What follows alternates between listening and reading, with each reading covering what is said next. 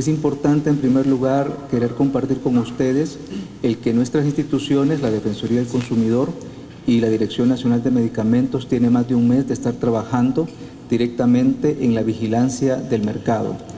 ¿En qué eh, sentido? En tanto el poder estar eh, vigilante de las existencias y también de los precios a efectos de poder detectar cualquier eh, maniobra, cualquier artificio, cualquier práctica que pueda ser contraproducente para los consumidores. Entre el 26 de enero y el 9 de marzo nosotros hemos realizado 574 eh, eh, visitas a establecimientos a nivel nacional en el cual estamos realizando un sondeo de 150 productos.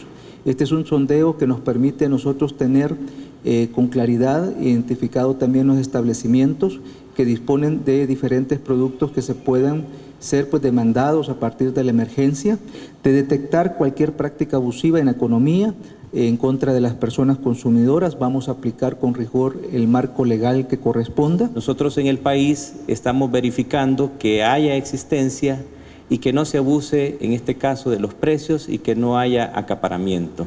Hacemos un llamado a la calma, que el uso de las mascarillas debe ser algo que se haga desde el punto de vista racional, la OMS recomienda que únicamente deben utilizar mascarillas aquellas personas con síntomas respiratorios que estén bajo sospecha de coronavirus. En este caso, como instituciones del Estado, nos hemos activado y estamos trabajando juntos para poder verificar toda la disponibilidad, eh, los precios de todos estos productos.